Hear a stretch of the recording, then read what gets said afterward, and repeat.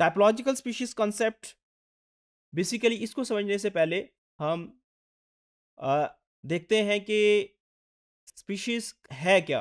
Basically species classification का basic unit है fundamental unit है। अगर हम देखें लिटरेचर को सर्वे करें तो ये पता चलता है कि तकरीबन 20 के करीब डिफरेंट किस्म के स्पीशीज कॉन्सेप्ट्स हैं। इस मॉड्यूल के अंदर हम टाइपोलॉजिकल स्पीशीज कॉन्सेप्ट के बारे में बात करेंगे। टाइपोलॉजिकल स्पीशीज कॉन्सेप्ट अरिस्टोटल और प्लेटू ने प्रपोज किया था। अरिस्टोटल बेसिकली प्लेटू का स्टूडेंट था। इस कॉन्सेप्ट के मुताबिक a certain pattern of features is found in each organism and all member of species show maximum equality in this format इसका मतलब क्या है? इसका मतलब ये है, अगर इस डेफिनेशन को अगर हम देखें तो इसके अंदर तमाम जो स्पीशीज के मेंबर्स होते हैं, उनके अंदर एक सर्टन पैटर्न होता है फीचर्स का। यानी उनके अंदर कुछ खास करेक्टर्स होते हैं, कुछ खास फीचर्स होते हैं, और ये जो फीचर्स हैं, ये उस स्पीशीज के तमाम मेंबर के अंदर मौजूद होते हैं। फॉर एग्ज़ाम्पल अगर हम डॉग्स की बात करें डॉग्स की एक स्पीशीज है तो उस स्पीशीज के अंदर एक खास पैटर्न होगा। क्योंकि टाइपोलॉजिकल स्पीशीज कॉन्सेप्ट जो है बेसिकली इसमें स्पीशीज को मॉर्फोलॉजिकल करेक्टर्स की बेस के ऊपर डिफाइन किया जाता है। तो एक जो स्पीशीज है, उसके अंदर एक ख़ास किस्म का पैटर्न मौजूद होता है। एक ख़ास किस्म के करेक्टर्स मौजूद होते हैं। और ये करेक्टर उस स्पीशीज के तमाम मेंबर्स के अंदर मौजूद होते हैं। अब टाइपोलॉजिकल स्पीशीज कॉन्सेप्ट के मुताबिक स्पीशीज दो किस्म की होती हैं। एक मोनोटिपिक स्पीशीज और दूसरी polytypic species.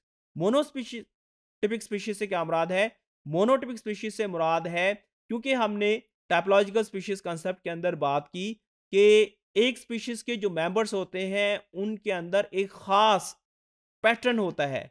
ये एक सेट ऑफ़ ऑर्गेनिजम्स हैं जो एक जैसे फीचर्स को शेयर करते हैं।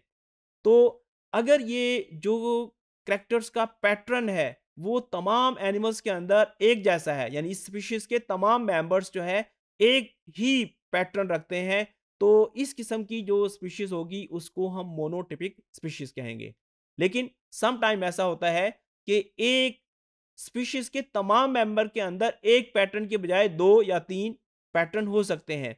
तो इस सूरत में हम इसको मोनोटिपिक स्पीशीज के बजाय पोलीटिपिक स्पीशीज कहेंगे।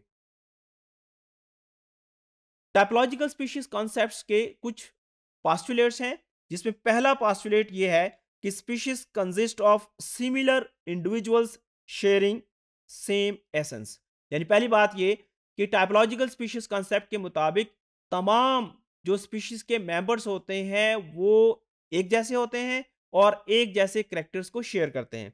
दूसरी बात ई species is separated from all others by sharp discontinuity यानी एक स्पीशीज के जो मेंबर्स हैं, वो आपस में तो एक जैसे होते हैं।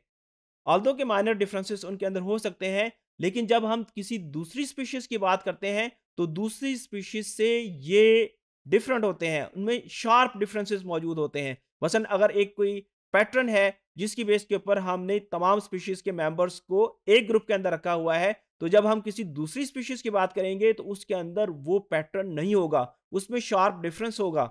इसी तरीके से अगर तीसरा पास्टुलेट देखें तो each species is completely constant through time यानी एक स्पीशीज जो है, वक्त के साथ वो कांस्टेंट रहती है, उसके अंदर कोई बहुत ज़्यादा चेंजेस नहीं आती। इसी तरीके से इसका जो आखिरी पास्टुलेट है there are strict possible limits to variation with an any one species यानी अगर एक स्पीशीज के अंदर हम बात करें ऑल्दो के एक स्पीशीज के मेंबर्स के अंदर वेरिएशंस मौजूद हो सकती हैं लेकिन ये वेरिएशंस कितनी है, उसकी लिमिट होती है। अगर उस लिमिट से एक्सीड कर जाती है कोई वेरिएशन तो फिर वो स्पीशीज नहीं रहती, फिर डिफरेंट स्पीशीज आ जाती है। तो एक स्पीशीज के जो मेंबर्स हैं, उसके अंदर जो वेरिएशन की लिमिट है, वो डिफाइंड है। तो ये चार पास्टुलेट्स थे टाइपोलॉजिकल स्पीशीज कॉन्सेप्ट्स के।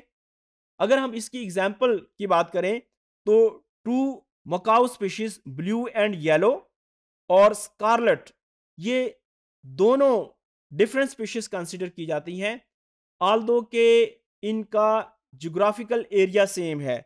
इनका जो हैबिटेट है, वो ओवरलैप करता है, लेकिन इसके बावजूद जब ये ब्रीड करते हैं तो ये हाइब्रिड्स प्रोड्यूस नहीं करते, ये सिर्फ़ उस सूरत में हाइब्रिड प्रोड्यूस कर सकते हैं, जब इनकी ब्रीडिंग कैप्टिविटी के अंदर करवाई जाए।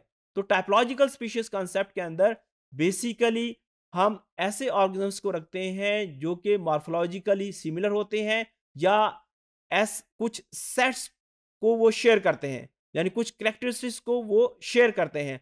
लेकिन ये जो करेक्टर्स हैं, ये दूसरी स्पीशीज के मेंबर से डिफरेंट होते हैं।